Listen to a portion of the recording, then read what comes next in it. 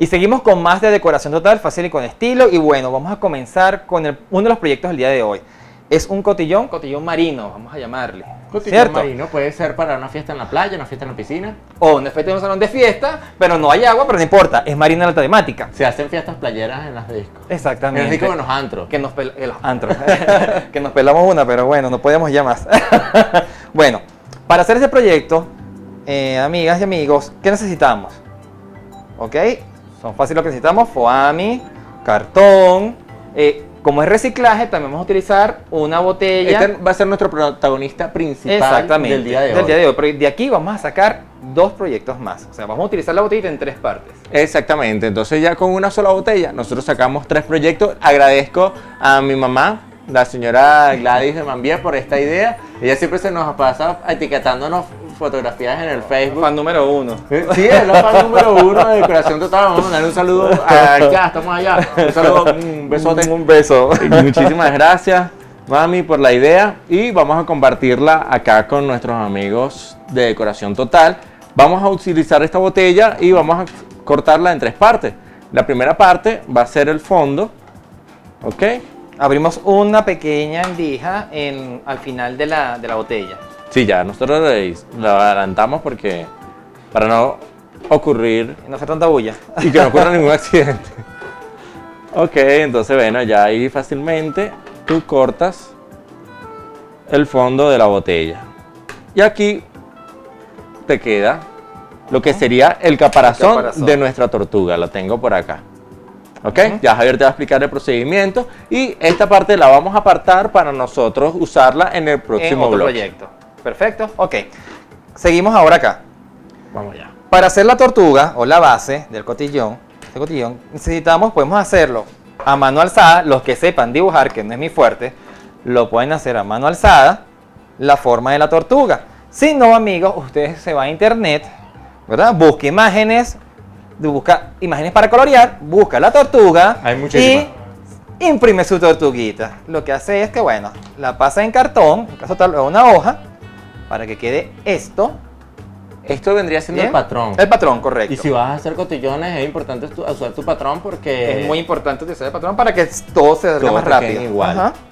De Y- todas maneras, por allí hay un video de los patrones que nosotros hicimos también. Exactamente. Para ahí le puede salir el enlace para que se vayan directamente y vean lo que es un patrón. Perfecto. Luego buscamos foami, una hojita de, hojita de foami, colocamos el patrón, lo que hacemos es remarcarlo y luego recortamos. Con tijeras recortamos el borde y nos quedaría ya la base como tal de el cotillón. Ok, ahora esta tortuga lo que hay que darle es personalidad. Correcto. Tú te encargas también de esa parte. Exactamente. Mira lo que vamos a hacer, sencillo. Ya tenemos la silueta de la tortuga, es simplemente un óvalo acá. Tienes que remarcarlo todo, con mucho cuidadito. Todo el borde. Tienen que tener buen pulso, por favor. Bueno, podemos apoyar de repente también de, de alguna hoja o algo para proteger la superficie en la que estemos trabajando.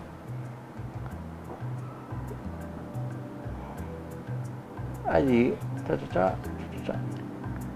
Y los detalles que le vamos a hacer al caparazón son libres. En este caso hice varios, varias formitas circulares o semicirculares que son como las, las manchitas que tiene la tortuga, ¿no? Y fíjate que no hay que ser tan... Ay, no sé que sea tan experto para hacer el dibujo. No, aquí sí no. Ay, bueno, sí te puedo ayudar bastante. Sí. Sí. Ahí sí, pero el otro sí no. El otro voy a mover imágenes y ya. Exacto. Ahora fíjate, aquí le vamos a hacer un pliegue. Claro, hay que, hay que remarcar todos los bordes, ¿no? Con paciencia ya ustedes lo hacen. Y definimos la aletita. Luego vamos a hacer una sonrisa de nuestra tortuga. La nariz. Y hacemos unos ojitos, que pueden ser unos óvalos. Y fíjate que es algo fácil y rápido. Sí. Es- no es nada complicado. Lo que utilizas es foami. A las chicas una- le haces pestañitas y a los Eh, chicos eh, lo dejas así. y bueno, terminas de remarcar. Utilizas el foami, la botella, marcador, tijera y por supuesto para dar color o puedes utilizar mismos marcadores o pintura al frío. A tu gusto. En este caso nosotros usamos pintura al frío. Bien, después que tenemos esto ya acá, ¿ah? de esta manera. Aquí tenemos una más o menos preparada. Como les dije, podemos utilizar para darle más vida a esto, pintura al frío. En este caso nosotros utilizamos pintura al frío, ¿bien? Tuvimos tiempo, pues. Y lo vamos haciendo así. Y nos queda esto que está acá. Por los bordes también puedes darle un poquito de sombra o darle claridad con un color más claro. Chévere para que te dé este efecto que está acá. Ah, bueno, sí, claro. Esas son las sombras y las luces que les creó Javier Fíjate con el pincel. Con pincel seco. Se ve bastante bonito. Este es un chico porque no tiene pestañas. Exactamente, este es un chico. Un tortugo. Un tortugo. Entonces, ahora viene el caparazón. Ajá. Lo importante es que acá tú le colocas los caramelos, ¿verdad? Y antes de hacer esta costura que te va a enseñar a hacer Javier. Eso, lo que acabas de decir, eso es importante. Agarras, rellenas eh, tu cotillón de caramelo, en este caso. Cierras acá y vamos a comenzar a coser con varias puntadas. Tengo acá ya preparadísimo. Obviamente tenemos que usar una aguja. Punta roma, de esta que tiene el ojal grande para que pueda pasar el, el hilo. Sí, vamos a usar estambre en este caso. Ajá. Déjame si viene. Eso le hace falta lentes, creo yo. Sí. No, mentira. Pasa que cuando se ver. deshilacha es más difícil. Déjame usar el viejo truco de la abuela.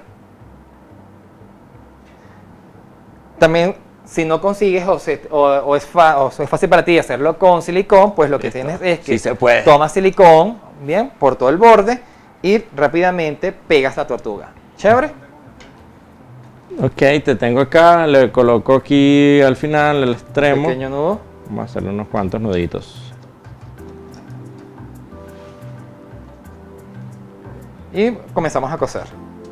¿Bien? Puedes pedirle a alguien que te ayude, ¿no? Sí, exacto. Si estás solita o solito, bueno.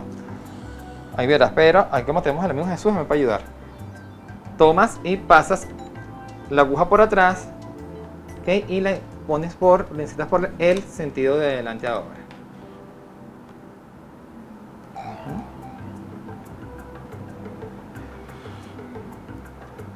Aquí tienes. También la pudieras pegar, pero la idea es que se vea bonito, ¿no? En su estrellita allí. Ahora vienes de este lado.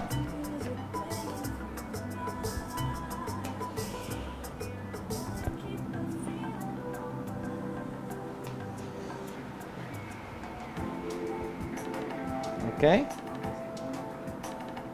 Y la cruzas otra vez hacia atrás.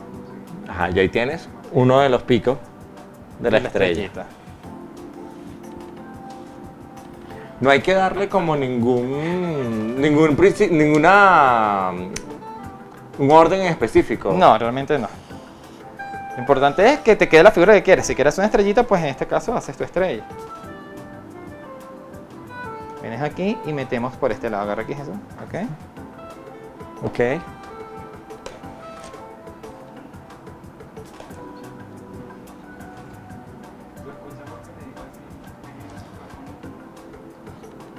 Viene. Fíjate. Venimos otra vez.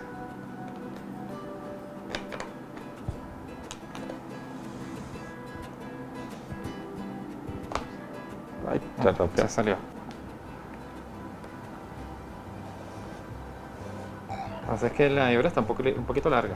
Sí, no, pero es que sácalo de acá. Lo puedes colocar de acá. Recuerda que no hay ningún sentido en específico, ¿no?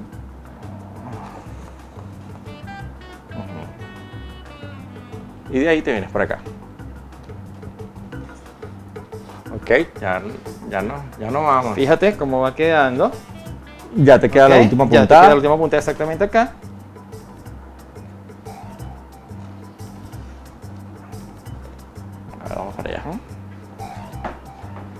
Y cul- culminas allá.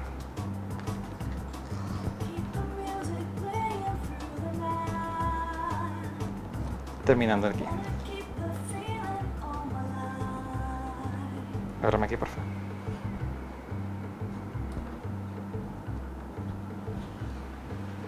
Listo. Luego de esto, cortas, aseguras abajo y cortas.